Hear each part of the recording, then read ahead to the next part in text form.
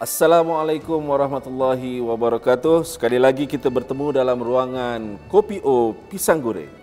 Sempena Festival Muara 2021. Saya Azrin Abdul Rahim, pengarah eksekutif Era Dance Theatre sekaligus menjadi tuan rumah atau host anda untuk rancangan ini. Dalam edisi kali ini, kita berpeluang untuk bertemu dengan tamu-tamu khas saya artis-artis veteran yang pernah menyinari filem-filem klasik Melayu tahun 50-an. Juga ada orang yang penting yang selalu bermain di belakang layar dan saya rasa anda semua akan dapat manfaat daripada acara atau rancangan yang akan kita sampaikan. Uh, pastinya kami ingin tahu lebih lanjut dari mereka mengenai hal-hal yang terkait dengan tari menari di Singapura. Alhamdulillah dengan gembiranya kita ingin menyambut kehadiran seniwati Puan Hashima Yun, seniwati Puan Nurma Zainal, seniwati Puan Dayang Sofia. Dan juga beliau satu lagi ni nak cakap seniman pun bolehlah masuk antara kategori seniman. Tapi saya rasa kita panggil beliau Abang Jamil aja pun okey juga. Ha. Okey. Ha, tapi untuk keselesaan dan supaya kita lebih bersantai, seniwati-seniwati ini semua saya akan panggil dengan nama Mak Shima, Mak Dayang dan juga Cik Nurma. Semua setuju? Boleh? Boleh. Okey. Okey. Mak Shima. Hmm, anda adalah antara artis yang telah menari dalam banyak filem-filem klasik Melayu. Untuk langkah pembukaan ni, boleh tak berkongsi pengalaman bagaimana Mak Shima mula-mula dilamar untuk menari dalam filem? Dan sebenarnya Mak Shima ni daripada kecil memang dah berlakon umur 8 tahun. Dari umur 8 tahun? 8 tahun pasal mak bekerja dekat Soul Brothers jadi selalu main-main kat studio lah. Bila masuk studio kalau mak ada syuting nanti saya ni pun sibuk. Ha, sibuk ke sana kata Mr. Quack, manager ni kan. Mr. Quack ada surat lah Mr. Quack. Baca eh. Ha, baca lah dia orang ini. Ha, ini ada turis nak datang daripada Malaysia ke mana-mana kan gini. Habis dia minta mak suruh saya bekerja kat dalam ofis. Tahu sajalah. Ofis dia cuma saya dengan dia. Di mana boleh kita orang Melayu kan. Orang kita orang mak banyak sangat pantang larang.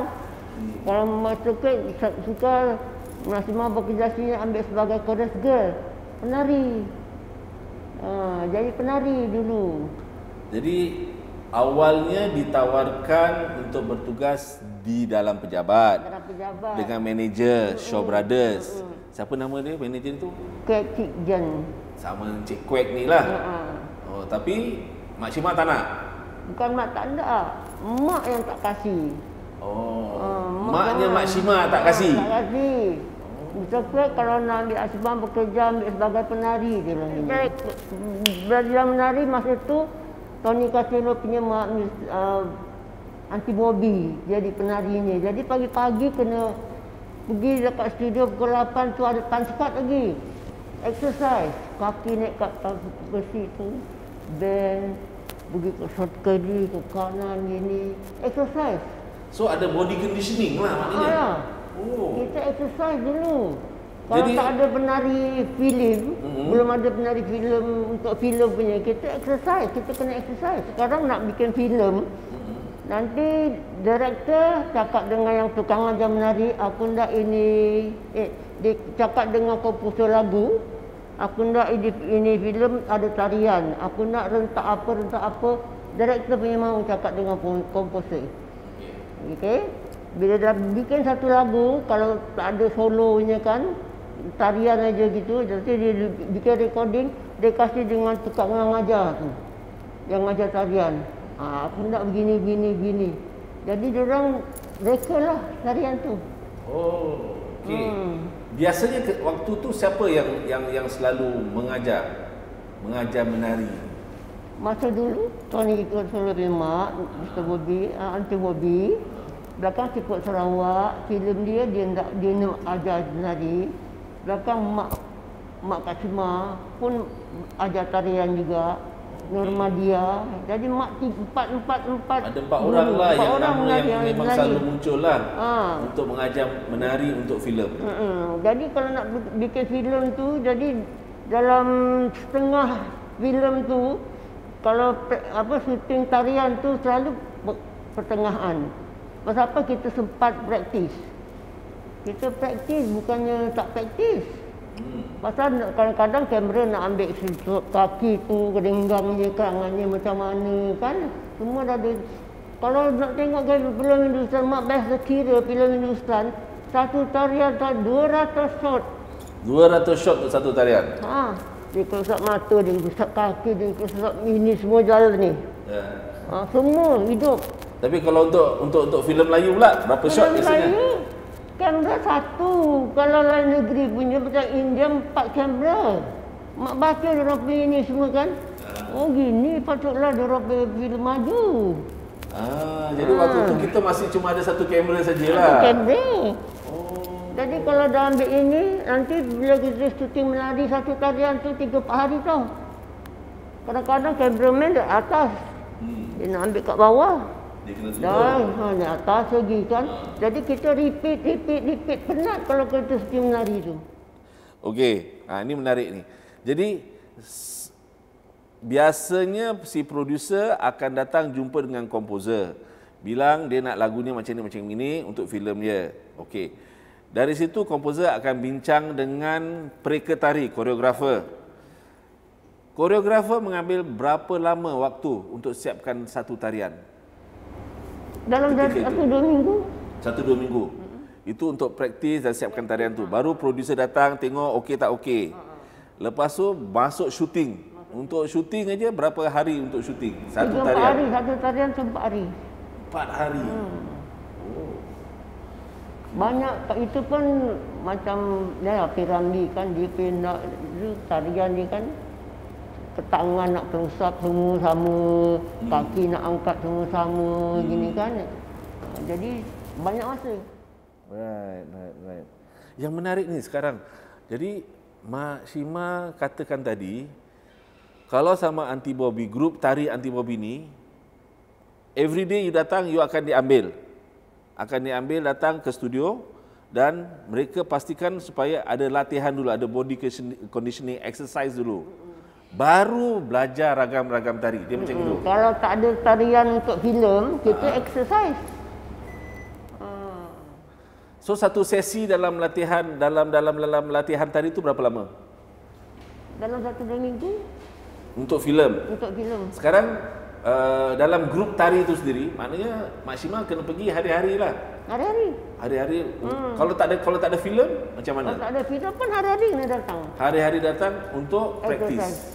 Exercise. Exercise. Exercise-nya berapa lama? Satu jam, Oh, okey. satu jam. Dan setelah exercise, ini ini cerita tak ada filem lah. Hmm. Exercise satu jam. Lepas tu apa lagi? Ada lah, sembang-sembang lah. Okey. So setiap hari ada latihan. Ada latihan. Bermakna setiap hari ada latihan. Ah, Satu untuk- kali satu jam. Untuk badan kita, untuk kaki kita, untuk tangan kita macam mana semua kan. Itulah anti bobi tu. Penari kadang-kadang dia panggil orang luar datang menari, dia bayar. Habis menari, habis dah. Jadi waktu tu penari-penari tak semestinya dia menari khusus untuk filem, dia mereka ada grup-grup mereka sendiri. Banyak tak grup-grup tari waktu itu? Banyak juga. Kadang-kadang kita uh, orang tengok mana yang mana menari, nanti yang tukang ajar menari, aku nak ni orang ni. Nanti orang cari panggil lah. Kita tengok kan biasa kan, kita bila kita tengok filem kan. Dalam filem tu tarian tu paling dua minit, dua setengah minit kan. Tapi saya pasti latihannya mesti berjam-jam kan. Itu apa perasaan Mak Shima macam dah latih gitu-gitu sekali cuma ambil shot cuma dua minit karena satu minit je. Untung kita lah. Masa masa jadi penari dulu kan untung lah kan. Ah, kira untung eh. Tak penat. Okey. Nah, satu lagi soalan. Um, biasanya kan tarian untuk lagu-lagu dalam filem tu adalah tarian yang uh, macam tadilah baru dicipta. Jadi mak- maknanya uh, si pengarah baru dapat idea nak buat tarian dalam filem tu. So dia suruh komposer buat ciptaan baru, kan? Ada tak tarian-tarian yang sudah jadi punya yang dia tengok oh ini boleh pakai yang dia tarik tu? Tak. Tak ada. Diorang baru ni. So untuk filem memang Memang semua baru. tarian baru. Semua tarian baru. Tak ada tangkap sana, tangkap sini tak. Diorang cipta diorang punya idea sendiri. Lain macam Kak Norma, arwahnya eh, dia dia punya tarian banyak apa orang bilang Bau. bau eh banyak bau eh ha eh macam arwah mak saya dia tak macam keaslian Melayu asli. Ah, Ha. dengan linggang dia. Ha, dengan lenggoknya macam siput Sarawak tu macam uh, Calypso, tarian tu semua Ah, kan lebih kepada dengan buatkan lah. ken-ken dia nak menar, nak shooting tu dia nak maksimal menari sama-sama. Hmm. Hmm. Sebab Sebab dia tahu kat maksimal boleh menari. Kena Asima dia lah ini. Jadi kena pakai ken-ken lah. Apa yang kembang tu. hmm. Okey. Dulu-dulu waktu mereka latihan biasalah waktu dengan anti Bobby ni waktu latihan menari, pakaian untuk latihan tu apa biasanya? Kita biasa datang pergi studio kadang kita pakai baju kurung. Baju kurung. Ha. Sampai kat sana kita buka kain baju kurung tu kita pakai seluar panjang. Pasal apa bila kita nak kat kaki ke nak apa baju kurung kan payah. Ha. Jadi pakai seluar panjang. Seluar panjang seluar tracksuit macam itu. Ah ah macam tracksuit situ. Okey. Ah seluar panjang dan kadang ini bawahnya simen. Ha. ha. Pak ni kita pakai smoking. Oh. tak mau kasi apa tak uh, top tak gantilah pakai baju tak kurung. beli kurung tak ganti dah. Cuma ganti seluar pakai seluar panjang Hmm, seluar saja. panjang aja. Okey. Yang ada orang datang dengan kebaya. Yang ada datang dengan pakai gaun. Macam gaun nak praktis macam mana kan. Hmm. Kan singkat. Ya. Jadi orang bawa seluar. Belajar. Okey, okey, okey. Menarik juga eh. Bayaran waktu tu macam mana? Oh, masa buka maksimal jadi penari gajinya baru 100 dolar. 100 dolar Satu bulan. untuk Satu, Satu- bulan. untuk satu Ada- bulan. ah, Oh. ah, itu ada menari, tak ada menari, gaji tetap on. Jalan. Ah, Jadi full time dancer lah tu. Ah, full time lah. Jadi bila lepas menari tu kita dapat komisen lagi. Dalam satu filem tu ada dua tarian ke tiga tarian dapat lagi ekstra 20 dolar satu filem. Eh, satu tarian. Okey. Nyanyi pun sama. Nyanyi pun sama. Hmm. So kalau ada tambahan shot kat mana dia dapat lah ekstra. Ekstra. Ha. Okey. Hmm, okey. Jadi kalau kalau Mak Syima masih ingat jadi grup-grup tari ni banyaklah ketika itu. Banyak. Yang yang yang, yang Mak ingat siapa siapa siapa aja nama-nama grup tari dia? Banyak dulu Rahmat-Rahmat. Hmm. Siapa lagi Kak Noma punya adik tu Erni. Eh? Ha, Erni. Lagi Enon, Rahmat-Rahmat PKK. Enon dari? Ainon Rahmat. Ainur Rahmat. Rahmat-Rahmat dia kakak. Oh, kakak Ah, Rahmat Rahmat. Kakaknya Okey. Rahmat. Rukiah Hasim, penari tu. Ha. Jadi itu siapa putih, uh, uh, keluarga Sudiro. Raden Diria punya family. Hmm, Putih. So adalah dalam 10 12 grup tari lah. Ah, alah. Oh, okey.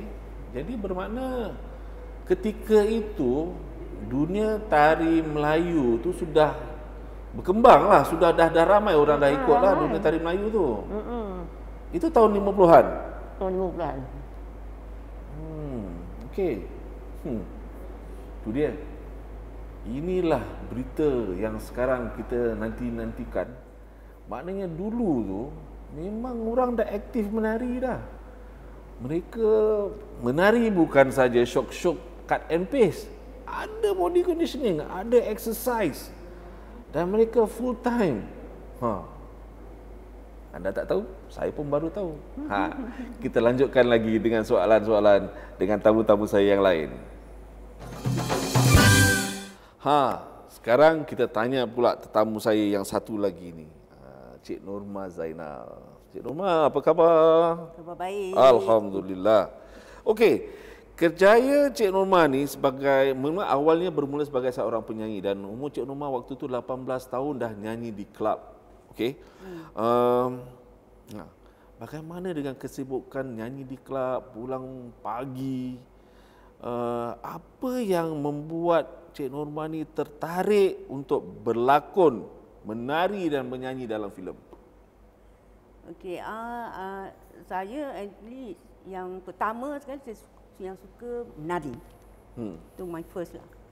Jadi lepas tu uh, masuk menyanyi pula lah. Jadi menyanyi tu macam kira uh, apa I punya macam cari makan. Right? Hmm, yeah. Macam cari makan. Jadi yang berlakon tu macam ada offer. Jadi I pergilah, oh. I pergi dapat offer. Yang offer ni siapa yang mula-mula uh, offer? Offer mula-mula uh, Hussein Hanif dari dari Katy Chris. Okey. Hmm, asalnya Cik Nur menari juga dari Katy Chris. Dari penari okay. juga uh, solo dancer.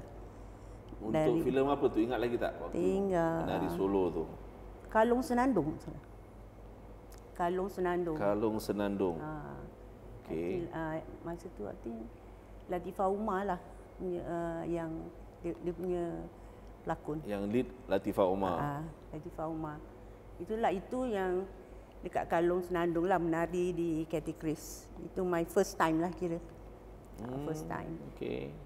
Yang mengajar menari, pasal uh, Cik Umar sebagai penyanyi, yang mengajar menari itu siapa waktu itu? Uh, yang masa kat Katy Chris tu, uh, arwah Kak Nusia, Nusia Yim.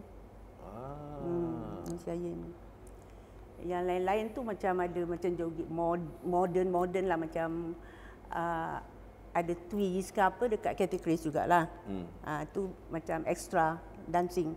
Right. Uh, itu modern, modern punya lah. Modern ways lah. So yang sama apa uh, Nur Yim yang ajar tu memang tari tradisional lah. Tradisional lah. Tarian okay. Melayu. Tari Melayu. Dan untuk, itu untuk filem. Itu lama tak untuk Cik Rumah uh, untuk nak belajar tari itu? Tak tak jugalah. Uh, dia dia aja sekejap aja macam one one hour two hours gitulah sekejap aja lah. Dia dia ajar kita menari kat Nusia. Habis lepas tu kita dia ajar ragam-ragam dia lah. Ah, dia punya tarian, dia punya cara menari. Pasal sana kan cut kan filem kan. Uh-huh. Ah, jadi kita tengah menari gini-gini aja cut. Habis lagi satu step. Itulah kan as a solo ah, dancer. Dia okay. filem selalu cut-cut. Jadi tak perlu nak menari full 3 minit ke 2 minit lah. Tak, menari tak. sikit cut, ah, okey tukar. Ah, okey. Kita start lagi kan. Ah, ah. Hmm. Itu pun okey juga, tak penat juga. Tapi boring lah macam itu. Tak dapat nak berekspresi sepenuhnya. Yalah kita kita praktis dekat situ dekat dekat dekat studio lah. Bila hmm. datang pagi kan, hmm. ah praktis kejap. Nanti Kak Nur cakap ah, gini gini gini habis kita I, I, I think I cepat dapat jadi uh-huh. sekejap lah as a solo dancer kan uh-huh. uh, okay. jadi dah dah belajar tu sekejap je dan tu kita menari hmm. uh, itu Cik Norma time lah waktu tu yang dia offer Cik Norma untuk buat solo dance tu hmm. uh, Yelah kan banyak lagi penari lain. Kenapa dia yang panggil dengan Norma Zainal ni untuk buat solo ni? Ah, pasal uh, Kak Nusia tahu I I dari dari Seluana menari. Ah, ah. Habis di TV pun kan, Seluana TV. Jadi dia panggil lah. Dia panggil, ah. you, you nak menari tak? Saya cakap boleh lah. Ni menari sama belajar sama sekolah ada ada kacau tak? Oh, tu jam I sekolah I habis cepat lah. I form 3 je dah habis. Jadi sibuk dengan ini kan menari, I masuk Seluana, masuk sini jadi pelajarannya up to form form 3 sudahlah. So antara disuruh menyanyi dengan disuruh menari which one would you prefer? Mana satu yang lebih kalau menarik lah untuk Cik Rumah? Ah, uh, I apa ni uh, I I suka I suka menari daripada kecil memang suka menari. Hmm. Ah, uh, that is my first lah kan. Dan tu ah. macam oh nyanyi tu suka-suka lah nyanyi lah on on TV ke gitu kan. Ah, uh, nyanyi lah after that I off, don't dah offer lagi pe- pergi night club, itu dah kira kita bekerja. Hmm. Kerja kan uh, on a, uh, 18 years old lah gitu. Uh, itu pun I sambil-sambil lah menari juga. Tapi dekat Sriwana normal lah dah tak ada lagi. Tak tak aktif kat Sriwana lah. Ah, bila dah masuk filem dah tak ada lagi dekat dekat Sriwana. Jadi yang menarik ni sekarang ni nak nak, nak tanya sedikit lebih inilah eh, hmm. lebih personal sikit. So dari umur semuda 16 tahun you dah menari di filem. Then you were in the club, hmm. menyanyi di club when you were 18. Hmm. Then in 1976 was it? 76 Yang Cik Nurma berumah tangga. Ah, uh, 1976. Itu ah uh, okay during 70s tu. Uh-huh. 70 uh, 72 I pergi film festival Hong Kong and Taiwan. Right. Taipei by Shaw Shaw Brothers Sen. Di Okay. hantar lah eh. And then uh, after that I, I balik uh, Grace, Arwah Bamin uh, ambil I that semusim neraka ke apa dia punya picture lah, hmm. punya wayang tu. That is I punya last lah. Number Okay. six film. Dekat Cathy Grace, third lah. Aha. Third. Uh, Okay. Jadi Shaw, I bikin tiga. Tiga filem and Grace tiga. Tiga, Dia ada okay. enam lah. Right. So total Ah, 6, right. Total enam. Then 1976 you decided No, I pergi 72, 72, 73 I dek- dekat Bangkok nyanyi. Ah, okay. Uh, and then I, I pergi apa pergi Pakistan nyanyi kat sana Pakistan. ah Uh, with my band The New Faces. And then kita itu ingat touring band, touring tour No, Pakistan no, ke? no, no. Menyanyi yes, di no, club. No, satu club je. Ah, Dekat okay. summer summer club tu lah. Kita ada ada kita ada kontrak lah. Ah, okay. Six months, six months. Jadi after le- lepas uh, di Karachi, hmm. kita patut move up pergi sampai Lebanon. Hmm. Oh, and then then uh, my manager cakap nak, nak nak hantar kita pergi apa uh, to Japan. So Okay. Cik Norma, I think I stop. I cakap pasal I cakap I nak balik kahwin semua. Ah, my boys ketawa. you getting married? I said yes. I said, so 75 I balik. I balik Singapore. So during my 70s. But you were in Karachi, so the the, the Yes. wedding plans was going to happen in 76. Yes. And Because so you I- had this The- long I- distance that- relationship yes, lah. yes. No, I with my husband here dah lima tahun we, we are together. You see, Ah, Ah, so the okay. engage only, and, and I engaged only only one few, few months lah, So you So we okay, were- okay. Quite long together. Five years together. Yes. Then when you were singing overseas, dia tak ikut lah dekat Tak, tak, lah. tak, dia kerja sini. Oh, itu dah dia. dia kerja sini, I ke sana. So in the end you decided to get married in 1976. And then Yes. after that ikut cerita you stop everything. Stop. But pasal my husband say, if you want to sing, you carry on, don't get married. Dia bilang, kan? Oh. So I stop this, uh, I mean this, kita punya ini apa, I tutup buku lah. Tutup buku. Ah tutup buku. I don't want anymore. Jadi orang ingat I hilang. Right. Dan kadang ikut husband, kan my husband journalist kan, jadi ikut kadang pergi Sarawak lah. Pergi Kuching. Ikut, Stayed there. We stayed there lah. We stayed there uh, 1990s. Oh, Uh, okay. not long, about one year, two years lah. Kalau dia kerja kat sana kan. Uh, so I ikut dia. Hmm. Then And your husband siapa namanya that time? He's uh, before he convert nama dia James Chan. James Chan. Hmm, then Bila call him convert Johan jadi Abdullah. Johan Abdullah. Right. But we Right. still call him by his name. his first name. Any regrets? no. 1976 I'm going to quit. Any regrets? No, I don't At that regret. point in time? Uh, yes lah, li- little bit lah, sikit lah, sikit lah. I, I, I still nak pergi club. So my husband say, okay, we can go. And but no entertain people or that lah, tak ada lah eh. Ah. Nyanyi ke apa, I just what, nak tengok aje lah. That is my line. I cakap. Right. Kan? I saja nak tengok my friend, itulah. Right. That, dia ikutkan jugalah. Hmm. Uh, dia ikutkan juga. Kata we come back. After I ada anak, then I be happy kan. Right. Uh, send them to school lah, pergi sekolah lah, apa ni. So, sibuk lah. So, dah sibuk dengan Sibuk anak. mengurus keluarga. Anak. Ha, okay. Itu dari 1995, anak I dah besar-besar. I go back to office. Ah, I work in the office. 1995, I think so. 94, 95. I work in the office for 10 years or 15 years. I become a, I mean, a frontline lady uh, as a receptionist. right, Uh, right, Of right. course, I don't do typing lah because that is our family business lah kira kan. Okay, We do like ans- answering call I see. and we do uh, everything lah semua. I do. I angkat phone. I got 300 clients with my hand. Ah, Yeah, answer call here, call there. Betul-betul is a calling, you know. Pukul 8 pagi, office girl. So we have other girls to do typing. lah. Right. Cuma just answer call, that's all. An- answer call and receive all those uh, customers Right. nak bayar. Jadi pengalaman dulu sebagai penyanyi and all that, did it help with your work in yes. any way? Yes, it worked. Yeah. Like I'm, how? I'm happy. Huh? Like how? Uh, I, I mean macam different lah from from uh, uh, ja- jadi uh, celebrity uh, celebrity kan. Mm-hmm. Uh, but at that time I think I was 50 orang semua tengok ini ini macam dulu-dulu punya celebrity. Uh, so I cakap Oh, orang masih ada yang ingat jugalah. ada, ada, ada dekat office ada, ada juga. I cakap siapa? Tadi lah dulu-dulu lah during 60s. Ya ke? Ada muka macam I? I cakap. I think you mistaken lah. I cakap. Ha, orang Gitu, office eh? kata, ah, yang Melayu-Melayu je tau. Yang Melayu tu macam recognize lah. Recognize. Right, right, right. Tapi I tak pernah. You never reveal yourself lah. I never. Tak pasal apa, office I pakai my name different. They Ah, call me Ann Chan. Because I married Chan. you married to a Mr. Chan, so you use Yes. your name Ann Chan. Ann Chan. Just Ann Chan. You see? I said, Ann Chan. Yes, Ann Chan. Finish. Tak ada apa-apa lagi.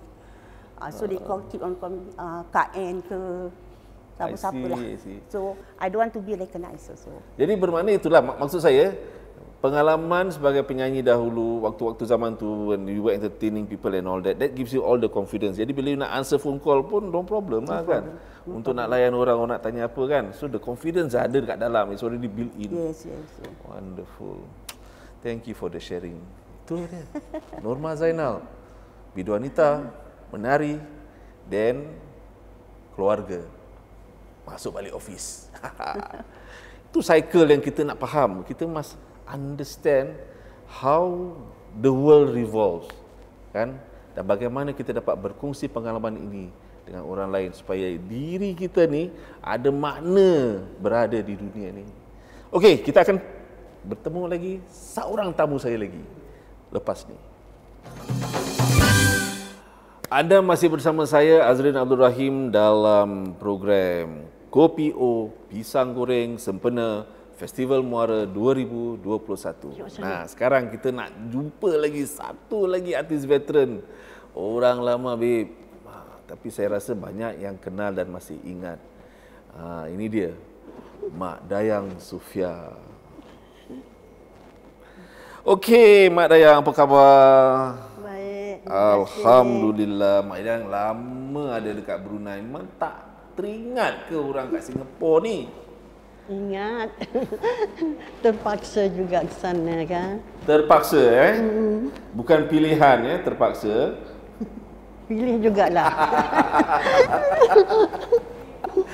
Okey Kita tanya kita tanya kita tanya dulu Okey Mak Dayang Mak Dayang, Mak Dayang ni dah berlakon dalam banyak filem dah Kalau saya kira-kira lebih dari 10 uh, Kalau Mak Dayang kira mesti dah berapa? 16. 16 plus 6 lagi ya okey 16 filem dalam 16 16 filem ni pernah tak director datang jumpa dengan Mak Dayang uh, saya nak uh, Dayang Sofia menari ada tak yang tanya Tak pernah. tak pernah Tak pernah. kenapa? Sebab apa peranan yang diorang bagi tu bukan ada untuk saya menari barangkali kan. Ah. selalu drama je gitu. Yang sedih-sedih. Ha, itulah. Jadi pasal orang pasal Mak Dayang ni dah terkenal dengan watak yang sedih-sedih. Kalau jadi penari pun nanti orang semua sedih agaknya kan. Jadi dia tidak kasih peranan menari lah. Tak. Kalau menyanyi, Menyanyi pun tak ada, pakai flashback aja lah, pakai suara orang ada. Ah, Okey. Ah, ah, ada. Okey. Jadi memang 100% berlakon sahaja. Dan berlakon pun yang memerlukan emosi yang sangat tinggi. Hmm, saya. Ha, itu tu memang skill yang susah tu. kan? Yang boleh menitiskan air mata. Tahu itu.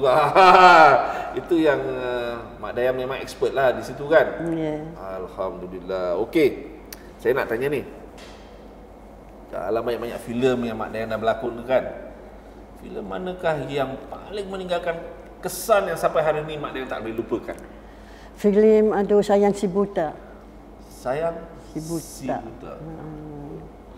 Sebabnya ceritanya kah? Pelakon main karakternya kah? Sebab apakah?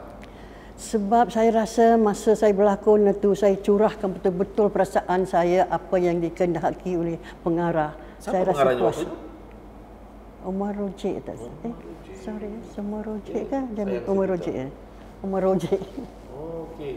Apa dia yang special yang yang yang yang dia minta Mak Dayang buat tu? Yang Mak Dayang tak boleh tak boleh nak lupakan tu memang Masa Sari uh, Sarimah uh, apa nama datang tempat saya di rumah hmm. kan bertanya mengapa saya anu apa nama macam marah ibu dia. Hmm. Jadi itu dah bertengkar-tengkar dia sepak saya. Hmm. Sekali mata saya tercocok besi kan. hmm. Ha, Masa tu saya meronta-ronta. Segala apa semua depan saya, segala kursi semua anu, saya kena curahkan benda-benda. Saya rasa puas betul-betul.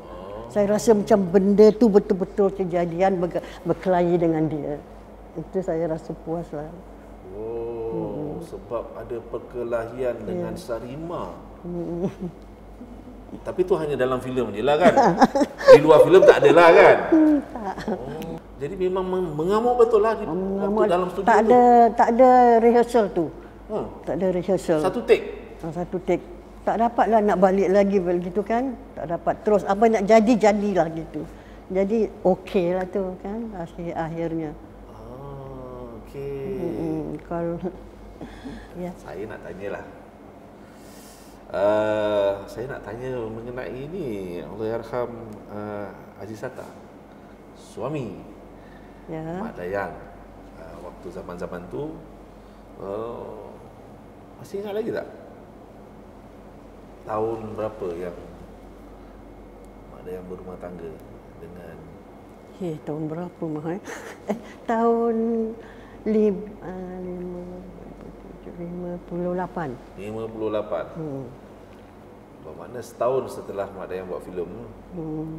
berumah tangga dengan waktu tu ada filem pertama uh, 57 ada satu filem Bujang Lapuk eh. Ha. Ah, lepas filem Bujang Lapuk tu lah. Ya.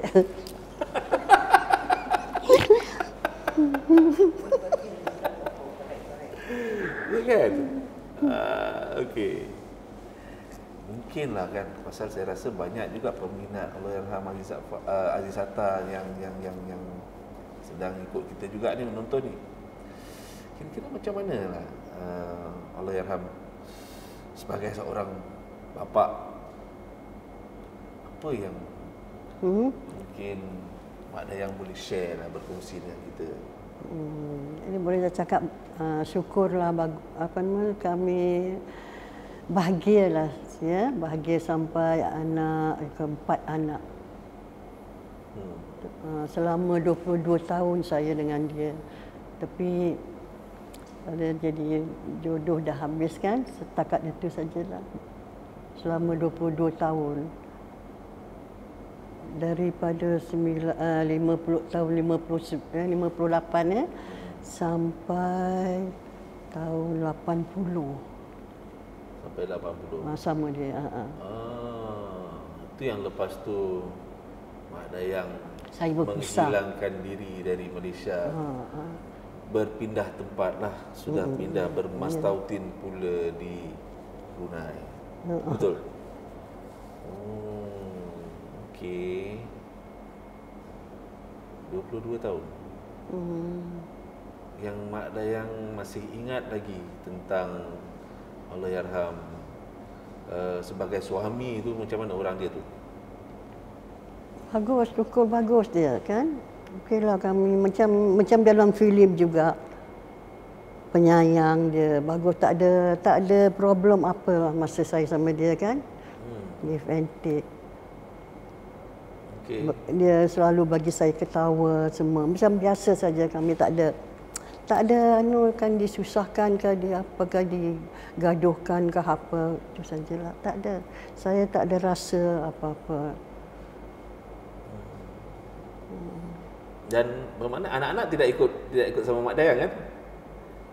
Untuk ke uh, ke Brunei anak-anak semua? Tak ada tak ada. Semua anak-anak sama mm-hmm. sama apa uh, Allahyarham yeah. di Malaysia? Uh-huh.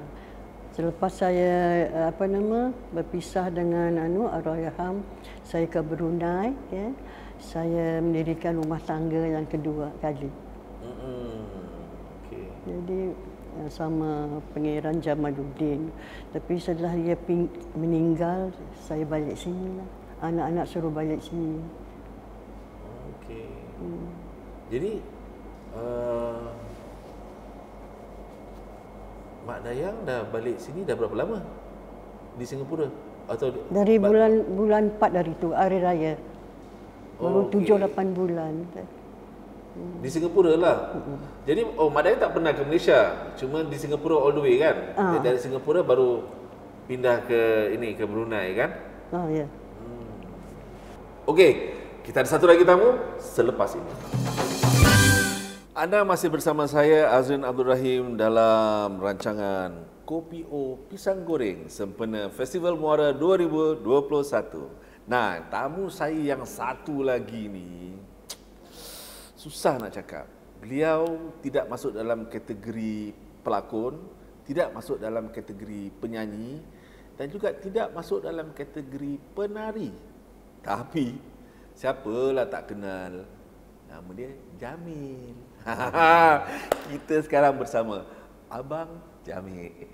Abang Jamil, apa khabar? Alhamdulillah, sihat wasiat. Alhamdulillah. Eh.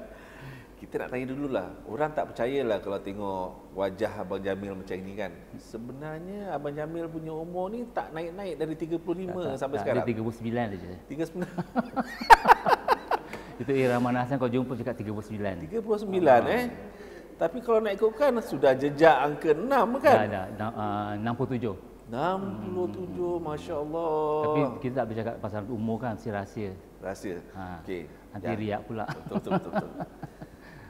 Jadi kita tak boleh tahu umur Abang Jamil yang 67 tahun, semua orang tak boleh tahu. Itu rahsia. Okey? Tapi dia terlepeh. Ah, itu dia. Abang Jamil, kita nak tanya ni lah. Walaupun Abang Jamil tak berlakon, tak menari, tak menyanyi Tapi uh, Abang Jamil punya keakraban dengan artis-artis veteran ni memang Menyerlah lah, menyerlah. Ha, okay. uh, Boleh tak kongsi uh, pengalaman lah? Berkongsilah dengan kita kan? Uh, Peranan Abang Jamil dalam dunia perfilman ketika itu. Okay dan rahsia ha, ini best. Rahsia di sebalik ah siapalah tak kenal Jamil? Ha, cuba ceritakan okay. sedikit. Um, mungkinlah sikit lebih kurang lah kan? Uh, maaf kalau silap pasal apa. Dulu kecil-kecil sangat. Kecil sangat saya selalu dibawa pergi ke Butik Road. Dan saya tak tahu tentang filem tentang apa siapa penyanyi. Saya nampak orang-orang tu semua cantik. Saya suka dari kecil saya suka admire at beauties Ha. Kau nak pakai semua dengan dengan ramping, dengan rambut semua dengan gaya jalan semua dengan kasut dah. Jangan cakap lagi lah maut. Ha, habis tu um, kita memang ingat budak-budak lah. Kerana pergi ke, ke studio pun kadang-kadang kena marah dengan baik, baik kasi masuk. Jadi kita tak tahu macam orang buat apa, buat apa. Habis kita pergi ke uh, ke makeup room. Makeup tu besar orang buat makeup pergi. Jadi, buatlah tak tahu yang kita boleh buat kerja macam itulah. Tapi nanti kalau macam dah uh, macam uh, maknanya uh, dah sekarang dah uh, pilihkan cerita uh, sejak, sejak dewasa ni banyak yang artis tu kenal saya. So uh, kita rasa macam very happy dan macam bangga lah macam orang admire kita kan ya. Tapi dalam semasa tu bertanda uh, masa sekolah tu pula macam uh, kawan-kawan menari kita kepo lah. Hmm. Uh, pasal nampak orang kat situ menari kan apa pun ajarlah orang menari gigi dengan bikin baju semua kostum. Ajarkan selendang semua lah. So and then uh, make up sekali. Hmm. Then after when they grow up, uh, they want to get the job. They ask me to make up for interview, uh, stewardess. And after that, from that, selected itu uh, kahwin pula. I first buat makeup kahwin is Chinese wedding. So you bantu artis-artis ni make up? Tak, tak, tak. Tak. Uh, cuma tengok dan dah, dah, masuk yang generation yang ke, yang ke tengah after the films habis. During Donald film tak ada dalam 73 and then after when they buat show-show then I, I involve doing the makeup and all that lah. Oh. I carikan baju, jadikan semua ada show, jadikan baju. Jadi waktu awal-awal cerita waktu tengah filem Melayu tengah hot, Abang Jamil ni ada di sekitar mereka and- and lah. so I know a little Growing bit up lah. Uh, because I like to see what they doing je. Tapi tak tahu apa sebab buat apa. You know, when menari apa semua, then uh, untuk apa, untuk apa. Kalau naik lori, I ikut naik lori. Dulu eh, naik lori eh, sampai tersebut bontot semua kan. Habis orang hantar fly. So, dulu lah macam, I think about that lah. Then when, kalau jalan kat luar tu, orang main mahjong kat tepi, tepi lom kat tepi tu eh. Uh, macam, eh beli kopi gayam, beli kopi gayam kan, ah, belilah. Itu. Uh, Oh, jadi okey. Ha, ini ini ja- jadi ra, rahsianya adalah Abang Jamil ni sentiasa berada di sekitar artis-artis veteran. Yes. Sehingga kan kerana awak sentiasa ada di sana, hmm. senanglah dia nak suruh ni suruh ni. Ha, You must be very rajin lah kan. Artis suruh je pergi itu, lah. Itu, itu, itu susah nak cakap lah kan. Itu memang semua cakap lah. Dia kata, orang kata cakap, oh bulan ni bagus ni macam sejuk, mak, uh, perut mak dia ngandung dia. I know that lah. Uh. Ah, So then, uh, dulu waktu kecil maybe agaknya cantik tak agaknya tahu. Everybody suka bawa jalan-jalan ke mana-mana tau. Uh, dia ni bawa ni bawa dia. I don't know siapa-siapa tak tahu siapa. Ha. Uh, ikut jalan je. Ha, macam tu Oh, lah. gitu eh. So dan dah besar-besar sikit dia orang ada uh, uh, menari-menari macam Saadia Ahmad Daud, uh. dancers Nur Madia, Wak Suda eh. So dia ask me to join tapi I pergi-pergi tapi semua kawan lah. Tak tak boleh menari pasal mother don't allow. Cuma, cuma I menari sekejap dengan Mak Nap, Raima Mak Raima Simin. Uh, dia punya group uh, dekat Loyang and then uh, I was told to jadi pengantin dengan siapa uh, I tak tahu lah dulu uh, maybe si Fauzia Z. So last Fauzia Z buat partner dengan si anaknya Osman Zalani lah. Siapa bapaknya Adi Miza. Dulu datang gitulah. Habis belajar-belajar menari jugalah. Tapi I macam lambat tangkap pasal takut dengan mak marah kat rumah. Belajar selamat datang. Habis selamat, walaupun menari apa selalu I kat front line. Front line macam orang belakang tak suka lah. Dia buat datang macam kita rasa macam Pasal kau muka kau tu cantik sikit jadi kat depan. Dia tak suka kan. Mak nak datang. Mak nak datang kata, okay, pergi tempat sini. Dah habis belajar, selamat datang. Dah, Mak Nas selamat tinggal. Habis. I ingat itulah macam jahat-jahat jugalah kan. Habis merat sana sini, merat sana. I, I, macam itulah. And then uh, uh, soal penyanyi, penyanyi normal dia memang suka menyanyi. Dia, kau nyanyi kau gitu kau gini. Habis cuma kita nyanyi kau tak ada feel lah. Macam like what Cak Sima dulu menari semua kan. Dia orang be given a script. Uh, pasal waktu itu, you, you tahu cerita tu lain-lain. Kalau macam modern, macam modern. Is film kalau dalam istana, macam istana. So, it, it, you have to follow the film selain. Ada orang kena belajar macam gitulah. Ha. Jadi kalau yang macam buat kaji macam yang macam dia menari dengan bap, uh, mak, bap, maknya si Tony because they all they call are dancers. Dancer walaupun ada job ada job they have to come to the studio and practice. Hmm. Practice stretch on this and that you know lah kan. Right. And then uh, on top of it they were selected also. That one I know lah they selected yang who those the best penari kan kat sana on what on what film. And then And then on top of that, macam Kak Shima ada bakat untuk menyanyi, um, boleh menyanyi, boleh menari. So they call, they selected all these good one uh, to do the modelling. And then dia ajar etiquette, how to sit down, how to talk, how to move, you know. Hmm. Uh, macam kita macam cakap macam mana lah, gitu-gitu lah. Kita pun gini-gini, main-main lah, main budak-budak main-main kan. Dulu Ashima cerita cerita Musang Janggut. So when they go, macam dia kan jadi puteri bulu siri kan. So dia naik tangga jalan macam very the model kind of thing, you know. Habis duduk tangan, uh, all that proper, they, they, they learn already. Hmm, menarik eh. Kerana you ada di situ. Yes. Dan you dapat belajar benda-benda ni dan yang lain-lain artis-artis pun tak merasa that you are a threat. Hmm. Kan? Hmm. Ini okey lah, ni budak ni okey, baik apa. Jadi dia kasihlah you bermain dekat sana dalam you bermain kat situ you belajar macam-macam. I think maybe I rajin lah. Orang suruh I buat apa, orang suruh I buat lah. Oh. Think maybe, maybe Okay. because of that. Hmm. Dari sudut pandang you lah eh. Amir ni kan. Kalau Abang Jamil tengok dah banyak-banyak orang, banyak-banyak artis ni kan. Apakah ciri-ciri yang agak penting lah untuk seorang artis tu menjadi seorang artis pujaan? What makes the difference? Apa dia yang yang ada? Ya. Yeah. Pasal I dah I I I, I uh, bercobori dalam dua bidang ni, dua dua, dua kategori lah. Macam artis uh, 50s, they are very very punctual, very uh, disciplined. Yang mana kat sekarang ni tidak. Dia orang glamour tu, into glamour dan uh, uh, director dia cakap dia. Whereas dulu tu dia orang belum director dia dah siap. dia set up, dia pakai baju semua, dia, dia, dia kalau macam tengah make up pun dah tengok kan, dia cakap, hai gini gini, dia, dia jawab, dia jawab, eh apa cerita ni kan. So from that I learn, because they want to uh, hafalkan skrip dia. So some of them memanglah dia boleh dia boleh hafal, dia very, uh, uh, apa tu, uh, dia can memorize very well. Macam gitu gitulah. Uh. So when um, when part yang uh, cucu kadang kita tak, tak tengok lah, of course lah, no? uh, gitu. Uh, that what I know lah. So the thing is the difference. Orang tu, I salute orang artis lama tu, they can they can bertahan sebab orang ada tersendirinya lah. They are very glam no. They are glamour then pergi mana I've always follow them to the to the film festival walaupun apa pun orang still can kenal oh, siapa Zashir Mayun ke siapa Zaitun ke siapa hmm. dan Sofia ke Dia, dia macam dia ada punya aura dia sendiri. Yes, eh? dia, dia tersendiri, tersendiri. You just up, put him on the stage. Apa? Semua jadi lain. Baiklah tadi anda baru dengar sedikit tadi kata-kata dari Abang Jamil gitu, pengalaman beliau yang bukan pelakon, bukan penari tapi sering berada di samping artis-artis veteran tahun-tahun 50-an dahulu. Okey, sebentar lagi kita akan kumpulkan semua artis ni dan kita akan soal jawab lebih kencang lagi. Okey, Abang Jamil, kita ni dah berbual dah panjang ni, dah banyak hal yang kita dah cakapkan. Tapi saya rasa uh, kalau kita nak tahu lebih banyak lagi, lebih cerita-cerita yang lebih mendalam lagi mengenai artis yang ada di sini, Mak Shima, Mak Dayang, Cik Rumah, mungkin Abang Jamil lebih tahu lah. Kan? Boleh lah tapi tak semua lah kan. Tak semua lah, okey lah. Kita nak macam Hashim Ayun tu kan. Dia popular waktu tu kan. Eh? Waktu tu memang popular lah. Sampai sampai hari ni semua. Orang kalau tengok dengan filem, huh. Actually, ada tak hal-hal pasal mengenai Mak Shima ni yang orang tak tahu? Macam dia punya habit ke, apa ke yang macam aneh-aneh lah. Ada tak?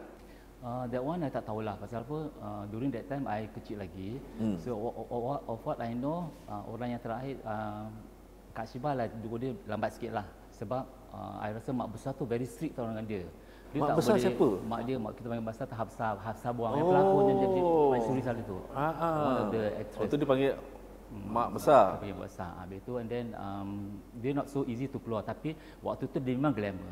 Dia cantik badan. Habis, she's driving also. Siapa? Kak Sima. Ha, ya. Jangan main eh. Ha, dia Habis dia dalam dalam quarters tu macam dia kelas lah when dia kami dia, oh Sima balik oh, kita pun oh gini ni. Dia bawa kereta apa kan. tu waktu tu? Bawa kereta apa? Ah, tak tahu lama kereta lah. Hanya dodol sikit. ha, habis janji dia bawa kereta sudah bukan kita lembu eh.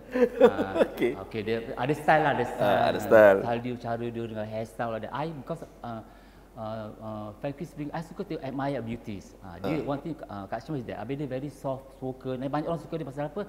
Dia cakap lembut. And then dia tak pernah sombong dengan orang whoever lah. Uh, orang I, I tengoklah dulu kecil orang ambil orang ajak bergambar dia bergambar jugalah. Hmm. So when kalau macam kalau menari memanglah jangan cakaplah juara lah kan. Uh, dulu kita Dia memang me- memang baguslah Mak Syima ni kalau menari waktu tu. Memang bagus. Okey, kita dah dengar cerita pasal Mak Syima sikitlah. Jadi beliau ni dulu memang kelas lah, kelas. Jaga penampilan. Orang memang respect dia kerana orangnya pun berbudi bahasa, soft spoken senang orang nak get along lah. Kan? Habis kalau Mak Dayang isteri kepada Allahyarham Aziz Sata pula macam mana yeah. orang ni? Um, um, cakap Dayang pula she have her own glam. dia dengan rambut ada dia dia, dia own dia punya glamour lah. Oh ada own Dulu glam memang, juga. Uh, dia macam tersendiri macam cari jalan dengan handbag dia all all very proper lah dengan kasut semua kan. So um, uh, with that I see that she is very uh, educated tau dalam tu. Nampak-nampak dia macam very edi, uh, very educated. Tapi memang dia. beliau pun dari St Hilda's prefect. Awal ada ono pula. Oh, tak tahu. Ah, tak tahu pula. Dia ada uh, English school buat kita. Ah, yalah, ya. Then, then after that baru saya tahu lah. When I meet dia, kita kan jumpa, jumpa kan. I tak tahu well, well uh, dia dari mana, dari mana. But the way he put up, like, so so posh, sampai dengan handbag, dengan jalan, dengan gaya macam... Proper, uh, proper uh, eh. Ah, then with, with baby dolls, eh, head, eh. Ah, uh, she's like that also lah. Also soft spoken also. Jadi macam I said semua orang filem dulu semua macam okey lah. Kalau okey. Jadi dah, tadi dah cerita pasal Mak Shima sikit. Dia belum jawab lagi tu Mak Shima tu. Mak Shima tadi tak ada yang awal-awal tu ni. Betul ke cerita yang naik kereta hai. Kenapa bila bila cakap macam gitu kan mana orang yang sopan santun bawa kereta ada kelas macam saya teringatlah macam macam queen-queen kan nampak-nampak gini. Dia macam itu ke? Waving-waving eh.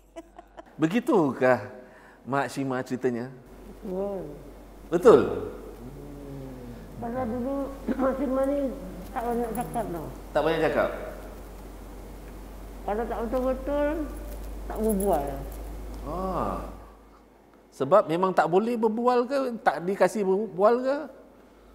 Tak suka menyapu orang cakap lah. Ah, tak suka. Jadi orang bilang apa macam apa bunyi batu bunyi dah dia. Gitu. Kalau ditanya baru jawab. Kalau tak ada aku buat wudu. So that time kalau Mak Shima that time boyfriend ada boyfriend banyak banyak boyfriend yang yang itu. Bukan tanda. Dikongkong oleh orang tua. Ah, gitulah cerita dia. Ah. Ada sebabnya lah. Ah, ada sebabnya. Siapa yang tak anda? Lagi muda-muda, siapa yang tak anda kan? Semua orang nak berkasih-kasih kan. Tak, oh, tak dapat. Tak ada peluang pun. Tak ada peluang. Arwah mak tu jaga betul. Okey. Bila Kita ambil peranan yang dua orang ni pun both classy, both ada gaya, both ada glam, but they were staying at the same place. So tak ada macam rivalry ke? Tak ada macam Tak. No no, they are very they are very good friend. That's why kita belajar dari situ. Why they can get together? Orang Habis macam adik-beradik semua. Yes, Lagi rapat yes. dulu dengan da- dengan ra- arwah Rahmat Rahmat, Kak Nur rumah. Semua rapat kawan. Ya. Tak pernah Kak dia. Kak dia lagi sebelah rumah. Ahmad Mahmud, Jin Samsudin, Kak Sima, Kak dia, uh, Mariani, Mm-mm. Nur Madia, Petik Malik Tuan Muda. Satu deret tu. bila dah rapat macam gitu kita kan manu, biasalah kita kan ada konflik sama sendiri kadang-kadang selisih faham dia tertinggi suara kita dah tak suka Tak. pernah tak tak pernah Tak ada. Tak pernah. tak pernah terjadi Tak pernah sampai terjadi. ah aku tak nak berlakon lagi lah Tak lah. tak pernah terjadi tu tak ada tak ada. But, but, uh, apa kita kalau nak berlakon nanti kita bila-bila kita berlakon nanti kita dah habis okey cut ini gini. Kita tanya director habis sama tu bang boleh ke? Oh best dulu. Ah okey lah. Itu mesti tanya dia takut nanti dia takut hati kan. ha oh okey jadi tak ada antara itu tak ada perselisih faham yang sampai tak nak berlakon ke apa tak ada waktu dibuntik tak ada lah Tak ada. semua bagus lah So, dulu orang tak, orang memang ikut skrip. Bila menari ke, menyanyi ke, uh, lakonan ke, dia ikut skrip. So, orang menjiwai lagi. Oh, very hard tau. Menari pun juga menjiwai juga. You know what you are, you are dance for. Ah, menari untuk apa? Macam, let's say macam Kak Dayang tu, kalau dia tiba-tiba dia keluar on stage. Walau tak belajar, tapi dia menyanyi. Tapi ada gaya dia. Also like macam model. Pasal maybe dia, oh, because dia orang ada tersendiri punya, punya glam, ada gaya sendiri. Ha, so dia kena, kalau tak ada macam jodoh pakai kata-kata mana boleh kan? Ha. Yalah macam Saya- dulu pun kita sebelum start itu kan ada kenduri semua kan. Yes, Ha. yes. ah, dulu dah cakap apa, lagi. macam mana kenduri sebelum start filem Ya. Ya, dulu Luar itu Selamat semua. luar kasih skrip lah Yes. satu kan. Ha. Kita, kita oh, jadi waktu script reading tu ada doa selamat before, lah Ah, before lah. Yeah. Before that. Ah, kita ada bikin doa doa selamat. Every each film lah ada. Mesti Tapi ada biasa. lah kalau macam nak buat perfilman ya, satu unit lah. Cameraman, tawayaman, artis-artis semua satu unit buat kenduri. Ni kat dalam studio ni bikin kapet ni kan. Okey nak makan apa maksudnya? Nak biryani, nak nasi ambung. Nasi ambung. Ha, yelah. Ah, nanti bungkus tak apa. nasi ambung lah. Ah. Ah, nasi ambung. Orang jadi masing-masing bawa tak. Tak ada, order. order Order. order. oh okey okey Jadi kita semua kat situ eh, artis-artis all the Ah, fun yang lah, fun lah. yang berlakon ya, yang berlakon kata filem itu ah, kata Agung punya ke macam kat Sembamnya itu jadi semua the same people. Ah, director dia eh kat Sembam, Oh, lah, satu pelakon lah. semua itu. Siapa yang ada bagian kan? Ah, macam Kodak filem sebut lah. Semua makan bersama one big family Yes. kita beruntung hari ini kita dapat Mak Shima, Mak Dayang, Cik Rumah yang mana kebetulan your lifestyle ketika itu memang mid, mid kira middle middle upper lah. Ada tak Abang Jamil kita punya artis yang dia punya kehidupannya yang tak semewah apa yang Mak Shima, Mak Dayang dan Cik Norma go through. Setahu you lah kerana you dapat dengan diorang kan. Kalau kat Buntik tu rasa macam everybody okay lah. Memang ada lah macam kalau you banyak shooting memang ada duit lah kan. Kalau tak ada is uh, personal life kita kecil tak mau tahu lah. So I find that the, all- the thing is the thing saya find out I, I dapat tahu saya suka tu pasal everybody are happy. Kalau dah happy tak ada masalah lah. You can Yalah. put it further house ke kanan. Mereka tak ada masalah. They are very happy dia get together. Uh, itu je. Macam kampung kan. Ah, Kira macam kampung. itu. lah. Dan- Habis dia orang help each other also. Orang tolong masak tu lagi bagi sebelah-sebelah kan. Uh. Itu eh. Jadi satu, satu jadi kalau kita bilang memang zaman klasik filem-filem klasik Melayu dahulu kerjasama gotong royong ke apa kekeluargaan yang kuat yang erat itu memang real lah dia, itu bukan cerita That lah is that is the like, Real macam life lah. uh, real life macam kira kan macam uh, what is that uh, kalau kalau dia Hol- kira Bollywood macam- eh Bollywood Hollywood eh? Macam uh, kita ada. Beverly Hills inilah Beverly Hills kita tu Buntik Road eh eh. yes Beverly Hills Setiap Melayu kampung mesti ada penghulu, setiap kampung mesti adanya leader. Kalau ada masalah leader ni, siapa waktu tu dekat Buntik yang menjadi dia punya ketua? Dia apa? penghulu Penghulu di Buntik. Buntik Road yang jadi ketua tu siapa? Tak ada lah, tak ada siapa pun dulu. Tak ada? Tak ada. Jadi kita ramai-ramai lah. Nanti tiap-tiap malam, macam malam-malam raya eh. Okey, kita adakan kenduri. Ah, masing-masing bawa satu dulang, satu dulang. Nanti kat badminton court tu lah. Mm-mm. Pasang kapet apa semua gitu. Kita duduk masing-masing ber, ber, berapa buah pintu rumah tu kan. Jadi satu lah, satu dulang tu dah banyak tau. Seronoknya tu. Ah, sorry. Mak Syima, waktu praktis menari sama Aunty Bobby tu di mana? Dalam sini dia ada special bilik macam gini lah besarnya. Macam gini lah besarnya. Dekat quarters tu juga, dek- dekat studio. Kawasan, kawasan studio tu Oh, okey. besar tempat dia. Jadi di dance oh dia ada dance studio dia sendirilah. Oh, sendiri. Fikir Kalau Mak Syima masih ingat lah kan waktu buat exercise body conditioning untuk menari tu bahagian-bahagian mana yang paling penting yang mesti nak kena stretch, mesti nak kena buat dia. Yang Mak Syima favorite favorite. Tapi mak sebab sekejap aja masa tu. Ha, Yang kena exercise tu tapi apa sekarang aku buat. exercise yang macam mana? Yalah macam kita pegang ini bar- apa besi Ah, kan macam ah. macam gini. Ah. Ah. Berapa kali sekali, dua kali.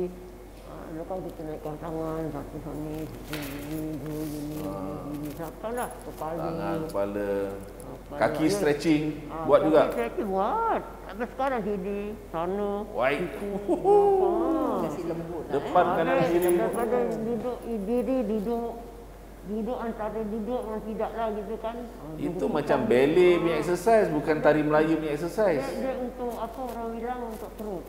Untuk perut. Syat.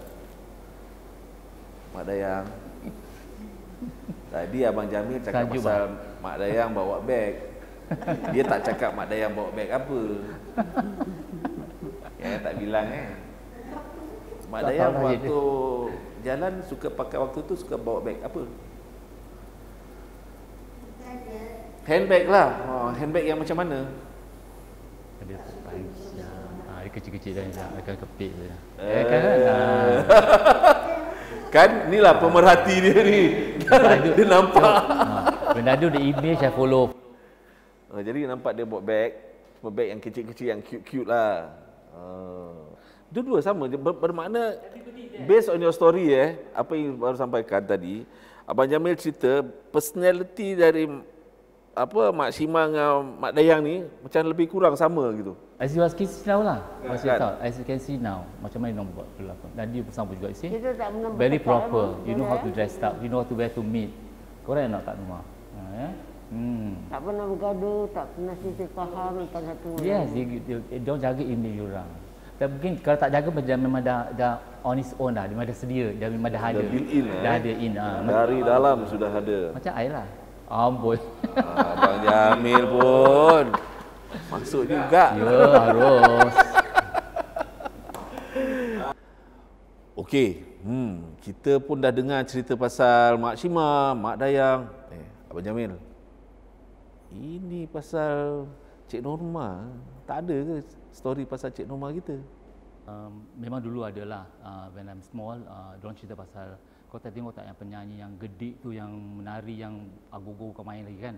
Cakap dia menari ke tak? Habis tu, then when I grow up, diorang ajak pergi tengok lah tu dekat tempat dia menyanyi tak. I cakap tak, dia pun macam gitu tapi uh, what I know dulu dia the dressing is different from when you talk about dressing is different from yang dulu yang Kak Sima dengan tu.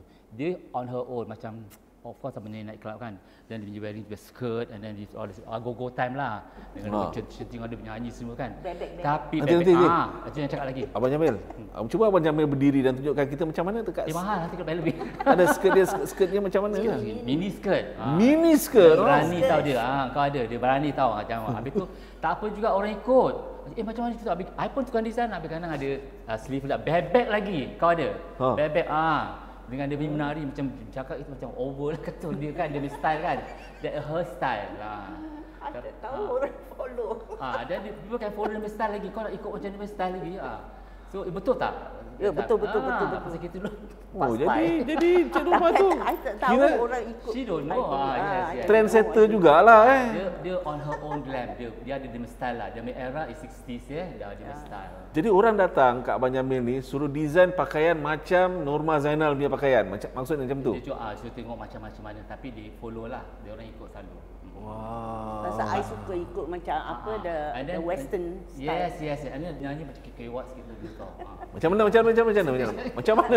Action, action. Semua dia director nak macam kewat macam ni macam really nak seducing to dia lah kan eh. Ah. Ah. so dulu macam mental gitu lah. Tapi it's character lah. No, she did very well. What I see lah. Ah. Terima kasih banyak-banyak. Oh, I'm- you telling you. Yes, yes, yes. Ah. Betul So, juga. gitulah eh. caranya, tak bila-bila. Itulah dia.